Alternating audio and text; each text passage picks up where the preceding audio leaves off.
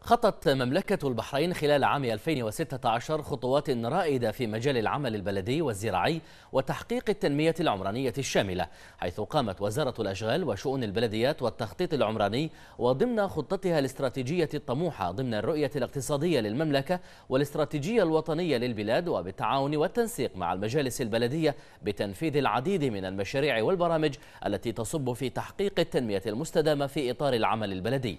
نستعرض من خلال التقرير التالي أهم تلك المنجزات. حرصت شؤون البلديات وبناء على توجيهات الحكومة الموقرة على دعم التنمية العمرانية باعتبارها أحد مرتكزات التنمية المستدامة وتوفير المناخ الاستثماري الأنسب للمستثمرين في البحرين.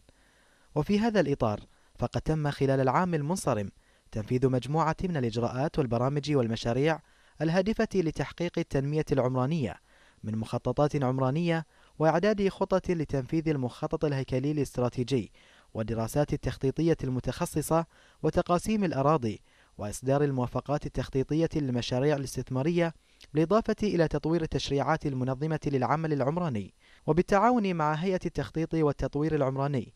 فقد تم البدء في الخطة التفصيلية الشاملة للتنفيذ.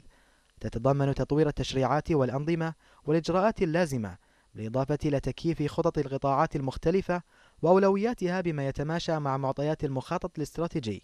وقد أصدرت أمانة العاصمة والبلديات 10345 ترخيصا خلال الفترة من يناير إلى نوفمبر عام 2016 وهو ما يعكس الثقة في المناخ الاستثماري العمراني في المملكة كثمرة للسياسة الحكيمة التي تنتهجها الحكومة الموقرة في مجال استقطاب رؤوس الأموال والحصول على التراخيص العمرانية وتطوير خدمات البنية التحتية والمرافق العامة وتشير النسب المقارنة إلى ارتفاع عدد التراخيص مقارنة بذات الفترة من العام الماضي مما يؤكد على صعود وارتفاع عجلة التنمية العمرانية والعقارية في البلاد ودورها في تعزيز الاقتصاد الوطني في المملكة. وهو ما يعتبر رصيدا إضافيا لدعم عجلة التنمية العمرانية والاقتصادية في البلاد.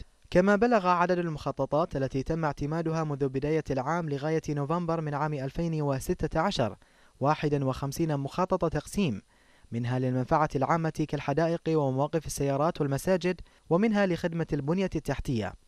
ومن أهم المنجزات لشؤون البلديات هو اعتماد المخطط الاستراتيجي الهيكلي الوطني 2030 الذي تم اعتماده من قبل جلالة الملك المفدى بالإضافة إلى استكمال تأسيس وحدة المعلومات والبيانات بنظم المعلومات الجغرافية المتعلقة بالتخطيط العمراني وإعداد دراسات تحليلية باستخدام هذا النظام. وقطعت شؤون البلديات شوطا كبيرا في العمل البلدي كركيزة للتنمية الحضرية الشاملة حيث أنشأت المركز البلدي الشامل الذي يعتبر باكورة تعاون مشترك بين الوزارة والمجالس البلدية والجهات المعنية. ونموذجا للتطوير المستدام لعملية إصدار تراخيص البناء للمشاريع الاستثمارية في المملكة. ومن أهم الإنجازات التي حققتها شؤون البلديات جائزة التميز للملتقى الحكومي عام 2016 في التواصل مع العملاء بالإضافة إلى حصول أمانة العاصمة لجائزة منظمة العواصم والمدن الإسلامية لعام 2016 والتي أعلن عنها في مدينة الرباط بالمغرب.